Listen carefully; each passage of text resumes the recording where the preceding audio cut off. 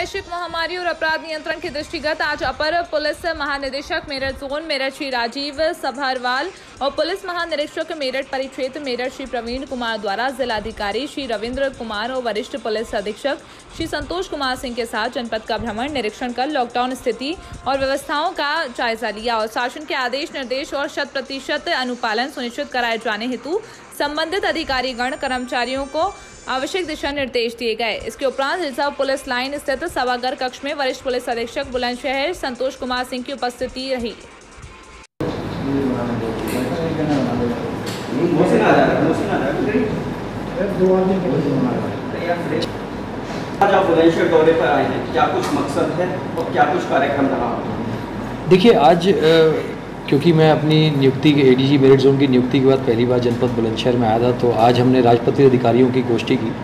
और उसमें जो आगे आने वाले तीन चार महीने हैं, उसमें जैसे अभी तक कोरोना जैसी महामारी से जूझ रहा था पूरा देश ही तो उसमें पुलिस का एक रोल था। अब क्योंकि अनलॉक शुरू हो गया है, पब्लिक का आवागमन शुरू हो गया, इकोनॉमिक एक्टिविटी शुरू हो गई है तो पुलिस का वापस एक कोरोना संक्रमण से बचाने के साथ साथ एक नॉर्मल जो पुलिसिंग में crime law and order control का जो मामला है तो उसके बारे में चर्चा प्लस अगले तीन चार महीने में जो बृहद आयोजन होने वाले हैं, उसके बारे में स्थिति का आंकलन और तैयारी के विषय में चर्चा की गई। इसके साथ ही जो ग्रास रूट पुलिसिंग के बारे में, जिसमें गाँव में या शहरों में या कस्बों में जो पार्टियों की आपसी रंजिश है, आपसी कसीदगी है, उसको चिन्हित करना ताकि उससे आगे चल के कोई शरीर संबंधी अपराध या कोई अन्य मेजर अप्रिय घटना ना होने पाए। तो इसके बारे में भी बात की गई। इसके साथ साथ जो एक रिस्पांस टाइम है अ, किसी भी घटना को लेके या जन समस्याओं को लेके उसके विषय में अ, कुछ अ, वार्ता की गई कुछ निर्देश दिए गए हैं।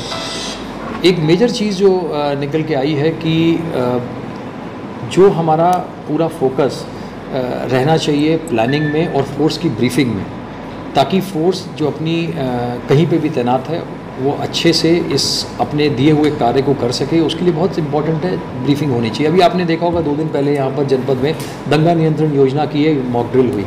वो भी एक उस तरफ़ प्रयास था, जिसमें कि फोर्स को पहले से ही पता रहे कि उनका कहाँ पे स्थान है और प्लस उनको क्या करना है इसमें ब्रीफिंग में। तो इसमें इस राजपत्रित अधिकारियों का जो रोल है, उसके विषय में चर्चा की गई।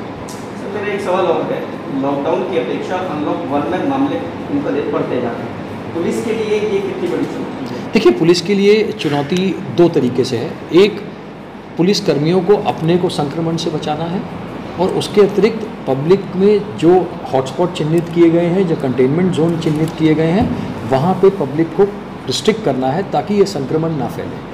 तो दोनों चीज़ लेटेस्ट न्यूज़ देखने के लिए प्राइम ब्रेकिंग न्यूज़ चैनल को सब्सक्राइब करना ना भूलें और साथ ही डेली अपडेट्स पाने के लिए बेल आइकन को प्रेस